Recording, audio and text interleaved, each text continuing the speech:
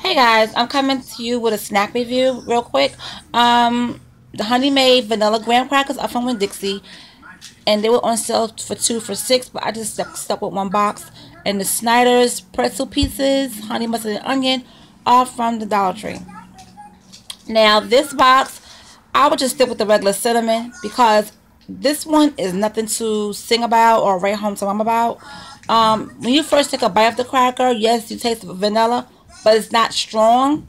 And then it's just regular old graham cracker after that. It's not like a big kaboom in your mouth. No, it's not. So, um, I will not be purchasing these again. Over there with that. Um, these right here, I don't think I will be purchasing purchasing these again either because the onion taste it's very strong. It's a very strong onion taste. Now, if you into that kind of thing, that is good. Then these are for you. But the only thing that I like that has a full onion flavor is onion and garlic wise potato chips. That's it. Um, these were good. I guess because I'm not into pretzel that much, that's why I didn't care for them.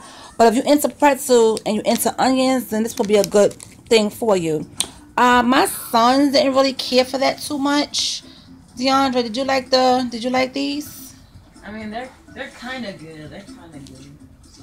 It's like a hit and miss, right? Yeah, like hit and then you miss it. Oh, all right. So um, yeah, mm, I won't be getting those again. I mean, we'll eat the ones that's here, but other than that, we won't be. I won't be buying them no more.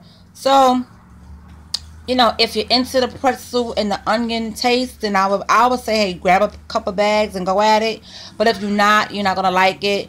As for the Honey Maid, um, excuse me, the Honey Maid um, vanilla cookies, I mean, those are hit and miss. Those are like they didn't do nothing for me. So this is my honest opinion.